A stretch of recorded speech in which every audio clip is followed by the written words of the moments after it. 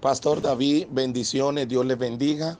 Le saluda el pastor Nelson Solís de aquí de Buenaventura Valle, de aquí de la iglesia Mamín Buenaventura. Pastor David, quiero contarle un testimonio. Mi esposa cocinó un pescado, por lo tanto, mi esposa me sirvió la comida, me sentí al comedor y empecé a comer el pescado, pero se me fue un hueso por mi garganta se me fue un hueso y el hueso se me atravesó en la garganta que no podía ni comer ni podía eh, respirar. Y por lo tanto entonces mi esposa me trajo unas peras que estaban en la nevera, ya eh, empecé, me echó más arroz y empecé a comer plátano eh, frito que había allí y, empecé a, a, embucharme, a meterme bastante para que el hueso se me corriera o bajara hacia abajo.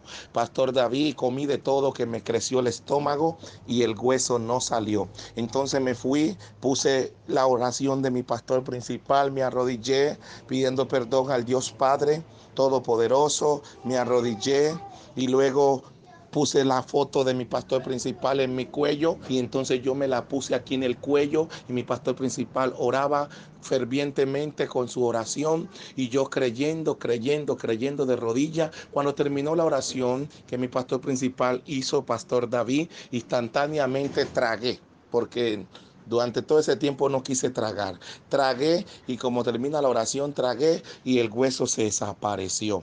Puedo puedo tragar, puedo seguir comiendo en este instante eh, porque no podía, no podía comer y para la honra de Dios Padre, espacio espiritual de mi pastor principal, o, Fui sano instantáneamente al terminar la oración de mi pastor principal. Ah, eh, pastor David, muchas gracias. Muy contento vivir en el poder de la recreación. Estoy sano. Eso me ocurrió el sábado, hoy sábado, y ya puedo comer, ya puedo respirar.